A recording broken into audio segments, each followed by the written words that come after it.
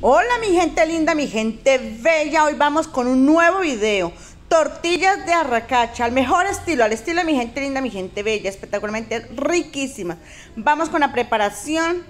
Aquí tengo carne ya cocinada, la vamos a colocar en la en pedacitos para poderla moler, para que quede bien molidita. Vamos a también a empezar a picar todo lo que son los vegetales, en este caso cebolla, cebollín, que no pueden faltar, pimentón rojo, tomatico, y también le vamos a colocar un poco de especies como es la paprika, el ajo que no puede faltar. Un chorrito de aceite y vamos a colocar esto a fuego medio para que se hidrate todas estas verduras.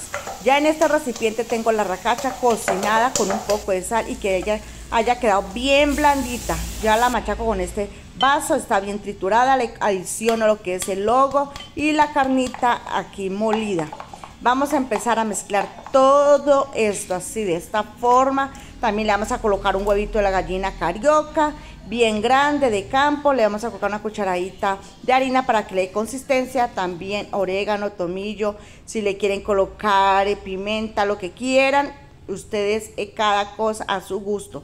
Y también ve aquí ya, ya mezclé bien todos los ingredientes y empecé a colocar a fuego medio y mire las tortillitas como han quedado de arracache. Esta es una forma de hacer la racacha diferente y queda súper espectacularmente rica. Mire mi cara de felicidad porque el placer más grande que me produce a mí son los alimentos.